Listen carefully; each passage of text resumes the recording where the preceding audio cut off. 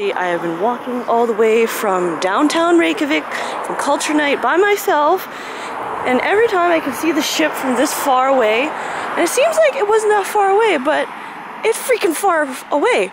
You know how long I've been walking? Probably like, I don't know, I don't know, half an hour maybe. And I can see the boats now so I'm a bit relieved but still. Still got a little bit more to go, but uh, feel safe here, it's fine, but I am currently the only person walking, as you can see, by myself.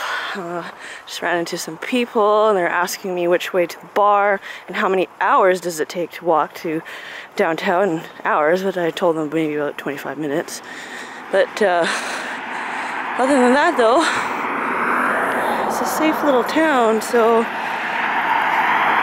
I'm almost there. Bought some skyr and some fish chips, so I'm gonna have a late midnight dinner. All right, almost time. I'm super freaking tired. Oh my god.